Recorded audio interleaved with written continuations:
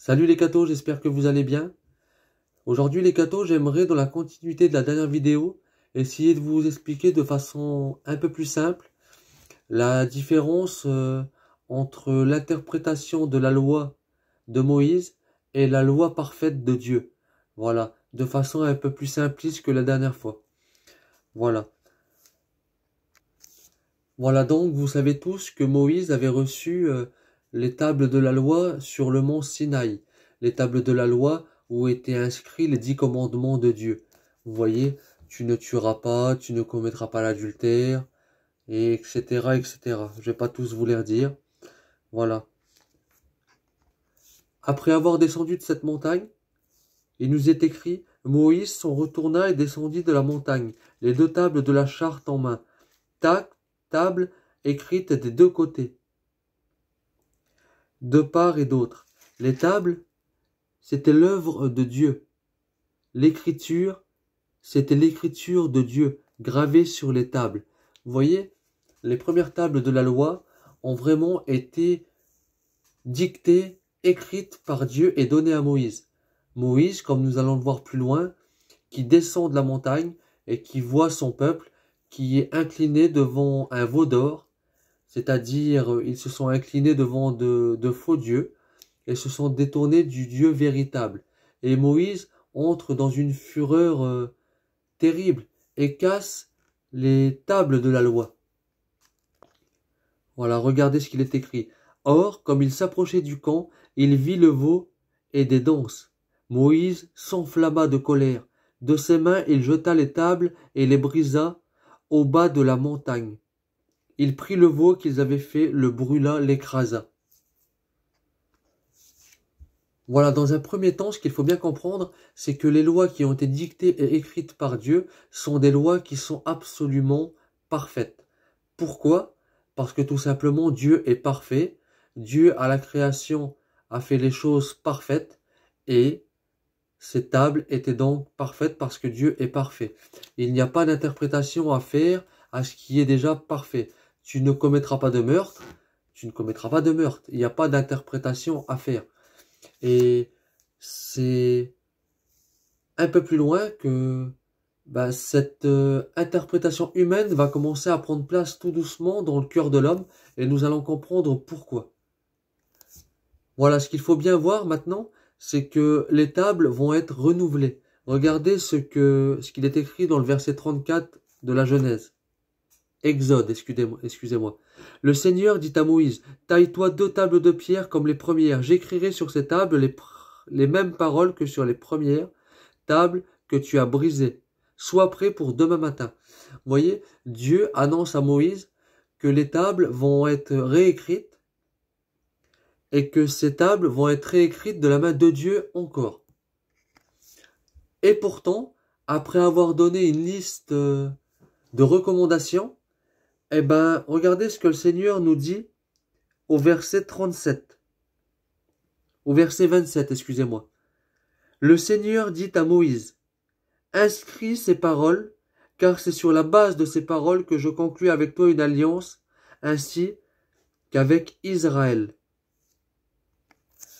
Voilà donc, nous venons de voir que c'est Moïse qui réécrira les tables, sous l'ordonnance de Dieu forcément, mais c'est quand même lui qui réécrira ces tables et qui par la suite euh, ben, les interprétera euh, comme il a pu, avec sa, sa pensée qui, qui était forcément humaine. Mais ce qu'il faut vraiment comprendre, c'est que Moïse était un homme, guidé par Dieu forcément, mais qui ne restait qu'un homme, et qui, face à d'autres hommes, ben c'est comment on pourrait dire, en gros démerder un peu comme il pouvait. Pourquoi? Parce que les hommes qui étaient face à lui étaient des hommes qui, comme le Christ nous le dira, avaient une dureté de cœur absolue. Et c'est dans l'évangile selon saint Matthieu que nous allons comprendre cela. Voilà, et c'est en Matthieu 19, verset 3, chapitre 3, verset 12 que nous aurons une partie de cette réponse. Une foule nombreuse le suivaient, et là il les guérit. Des pharisiens s'approchèrent de lui pour le mettre à l'épreuve, et lui demandèrent est-il permis de renvoyer sa femme pour n'importe quel motif? Il répondit, N'avez-vous N'avez-vous pas lu l'Écriture? Au commencement, le Créateur les fit hommes et femmes. Et il leur dit, Voilà pourquoi l'homme quittera son père et sa mère, il s'attachera à sa femme, et tous deux ne formeront plus qu'un. À cause de cela, ils ne sont plus deux, mais un seul. Donc, ce que Dieu a uni, que l'homme ne le sépare pas. Les pharisiens lui répliquent. Pourquoi donc Moïse a-t-il prescrit la remise d'un acte de divorce avant la séparation? Jésus leur répond. C'est en raison de votre endurcissement que Moïse vous a concédé de renvoyer vos femmes. Mais au commencement, il n'en était pas ainsi. Or, je vous le dis, si quelqu'un renvoie sa femme, sauf en cas d'union illégitime pour, son, pour en épouser une autre, il est adultère. Voyez? Voilà comment que la loi est interprétée de deux façons différentes. Un, Moïse, qui face à ces, à ces pharisiens, euh, forcément, euh, qui étaient euh, leurs descendants, face à ces pharisiens, face à ces, à ces personnes, ben Moïse a dû s'adapter à la dureté de leur cœur. Ce qui veut dire que ben Moïse en quelque sorte faussé la parole de Dieu qui était inscrite sur, euh, sur ces tables, avec sa, ben sa petite condition humaine qui n'était pas toujours facile, et il a dû, comme nous l'avons vu, s'adapter. La deuxième vision, c'est la vision de Jésus, qui redonne tout le sens de cette loi. Au commencement étaient l'homme et la femme, et ainsi de suite, comme nous venons de le voir. Ce qu'il faut bien comprendre, c'est que Moïse, à travers ce texte, comme il a pu, interprète, s'adapte à la dureté du cœur des hommes, le Christ ne s'adapte pas. Il ramène le, le commandement à son originaux, le commandement à la perfection, et c'est pas à lui de s'adapter au cœur de l'homme, c'est au cœur de l'homme de s'adapter à la loi de Dieu, vous comprenez? Continuons. Jean chapitre 8, verset 3. Les scribes et les pharisiens lui amènent une femme qu'on avait surprise en train de commettre l'adultère. Ils la font avancer et ils disent à Jésus, Mais cette femme a été prise en flagrant délit d'adultère. Or, dans la loi de Moïse, nous, dans la loi, Moïse nous a ordonné de lapider cette femme-là. Et toi, qu'en dis-tu? Il parlait ainsi pour le mettre à l'épreuve, afin de pouvoir l'accuser. Mais Jésus s'étant baissé, et du doigt, il traçait des traits, et le sol, sur le sol. Comme on persistait à l'interroger, il se redressa et leur dit, Celui qui d'entre vous est sans péché, qu'il soit le premier à lui jeter la pierre. Et il se baissa de nouveau pour tracer des traits sur le sol. Quant à eux, sur cette réponse, ils s'en allaient les uns après les autres. Au commencement, par les plus âgés, Jésus resta seul avec la femme en face de lui. Il se redressa et lui demanda Femme, où sont-ils donc? Alors personne ne t'a condamné? Elle répondit Personne, Seigneur. Et Jésus lui dit, Moi non plus je ne te condamne pas, va, et désormais ne pêche plus. Encore un passage où Jésus y mit en, en contradiction avec la loi de Moïse. Et pourquoi? Ben Parce que par rapport à la dureté du cœur, c'est toujours le même principe, à la dureté du cœur de l'homme avant cette époque, euh, Moïse a dû s'adapter au cœur de l'homme et a dû en quelque sorte céder et, et à réinterpréter les lois de Dieu à sa façon. Jésus, encore une fois, ramène le texte, la loi parfaitement à son origine. Que celui qui est sans péché lui jette la première pierre. Si on suit la loi de Moïse, qu'on suit ces juifs, ces pharisiens, etc., on lapide cette femme. À l'époque, on lapidait à mort. Vous comprenez? Ce qui veut dire que cette femme qui était adultère a brisé un commandement, mais par contre les gens qui ripostent et qui la lapident, eux aussi brisent un commandement. Tu ne commettras pas de meurtre.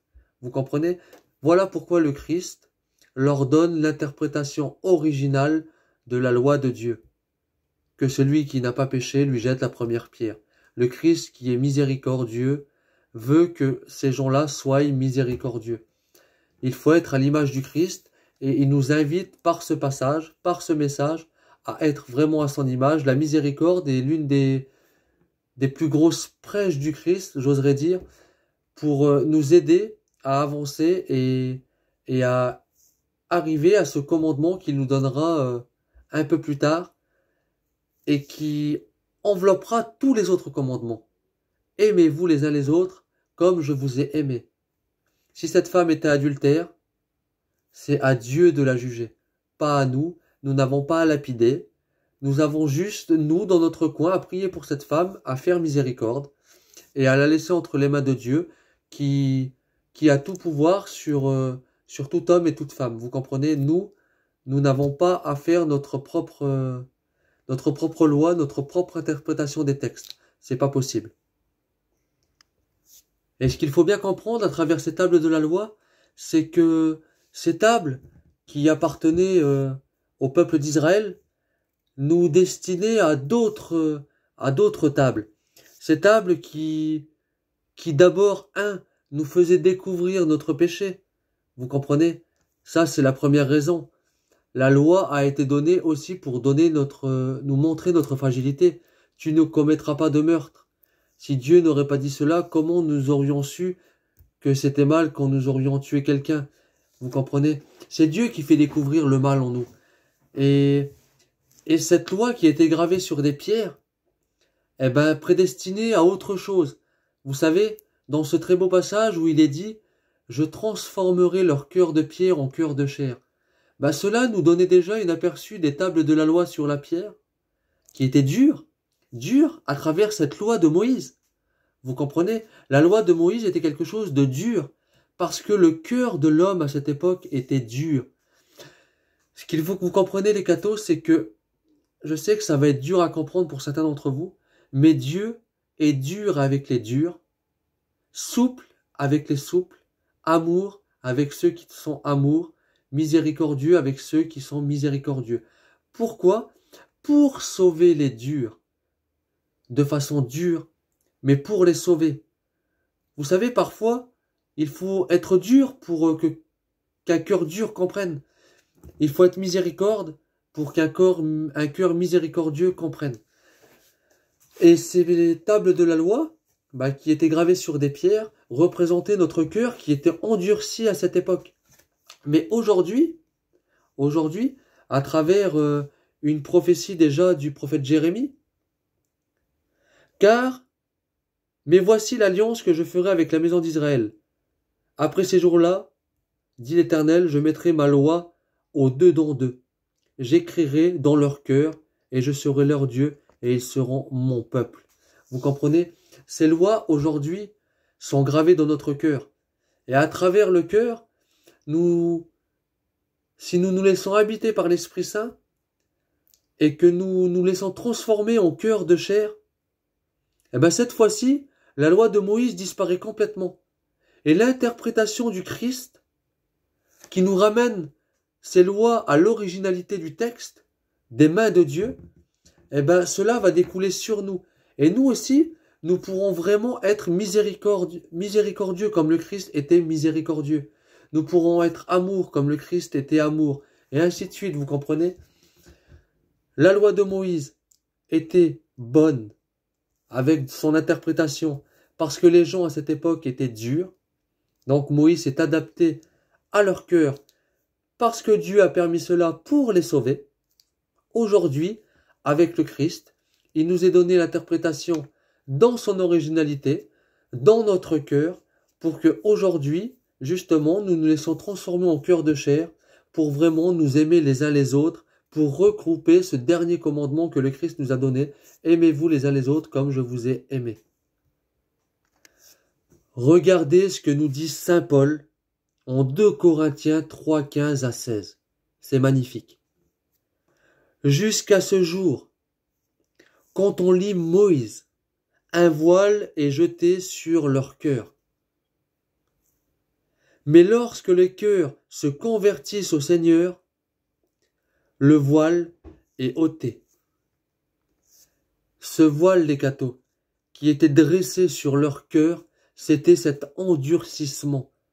C'était cet endurcissement et c'est dommage qu'ils ont obligé en quelque sorte Moïse à les inciter à continuer sur cette voie-là, car leur cœur était tellement dur que Moïse a laissé cette loi qui a été redonnée par notre Christ dans sa plénitude.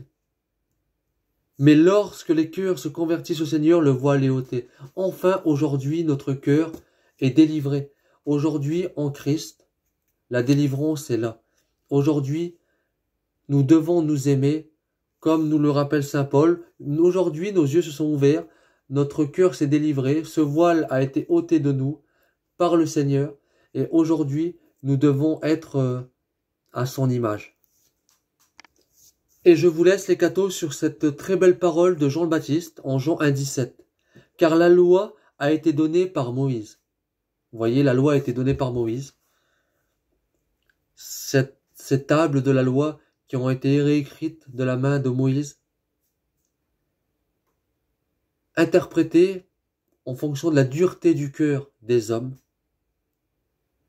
mais adaptées pour les sauver à cette époque, comme je vous l'ai dit, Dieu peut parfois être dur avec les durs, mais dans un seul but, les sauver, leur montrer leur faiblesse, pour ensuite qu'ils reviennent à lui. La grâce et la vérité sont venues par Jésus-Christ. La grâce et la vérité, la vérité de cette loi, que cette femme qu'il ne fallait pas lapider. De l'union entre la femme qu'aucun homme ne peut séparer. Vous comprenez? Et Jean le Baptiste nous rappelle à travers ce dernier texte que c'est vraiment un don de Dieu d'avoir eu la grâce de pouvoir recevoir l'Esprit Saint pour aujourd'hui comprendre ces choses-là, pour euh, nous laisser façonner par le Christ, laisser vraiment agir l'Esprit Saint en nous pour que notre cœur de pierre, c'est-à-dire cet Ancien Testament, cette dureté de loi, la loi de notre vie en fait, œil pour œil, dent pour dent, mais moi je vous le dis, dira le Christ. Aimez vos ennemis. Œil pour œil, dent pour dent, c'était la dureté des tables de la loi interprétées par l'homme. Mais le Christ nous dit d'aimer nos ennemis, et cette fois-ci, la loi est dans sa plénitude. Aimez-vous les uns les autres comme je vous ai aimé. Amen. Voilà, j'espère que vous aurez compris un peu plus facilement ce que représentait cette loi ce que représentait une interprétation et ce que représentait la plénitude de, ces, de cette loi qui nous a été révélée par euh, le Christ pour nous faire comprendre que bah, nous devons vraiment nous aimer les uns les autres. Voilà, n'hésitez pas à vous abonner les cathos, n'hésitez pas à partager la vidéo, n'hésitez pas surtout à venir jeter un petit coup d'œil au groupe Facebook Salut les cathos, où on met euh, l'évangile du jour et un petit texte, euh, une petite méditation biblique. Et n'hésitez vraiment pas à partager les vidéos pour ceux qui, qui aimeraient écouter un petit peu des petits enseignements euh, à portée de tous. Voilà. Que Dieu vous bénisse. Et à plus les cathos.